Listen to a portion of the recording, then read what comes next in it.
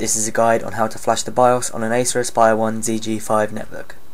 Please note that this video is only suitable for the AOA 110 and AOA 150 models. You can find what yours is on the bottom of your netbook. By following this guide you are doing so at your own risk. This may cause further damage to your netbook, so please note that I take no responsibility for any problems that may occur during or after you follow this guide.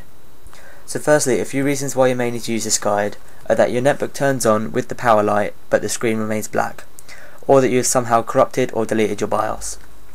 What you need for this is a working computer and a USB memory stick. I've found that not all memory sticks work, so you may need to try a few, and you also need the power adapter. I've already prepared all of the files that you need for this, which will put the 3310 BIOS on. Download the zip file from the link on screen, which can also be found in the description. Put your USB memory stick into a working PC and format the memory stick with a quick format to FAT. Then copy over all the files in the zip to the drive. Make sure the netbook is off and then follow these steps. Number 1. Plug in the power cable. Number 2. Plug in the USB stick.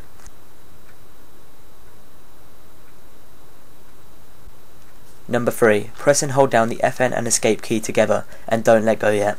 Number 4. Whilst holding down FN and escape, press the power button. Number 5. Wait about 5 seconds after pressing the power button, then stop holding FN and escape. Number 6. The power light should now start to blink. Number 7. Let the laptop run uninterrupted. Don't press anything, this could take between 5 and 10 minutes.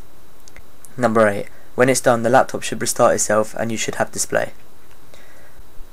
All the files that you need to follow this guide can be found at acerbiosfix.com, a link can be found on screen and in description. This has the latest BIOS versions for the AOA 110 and AOA 150 models.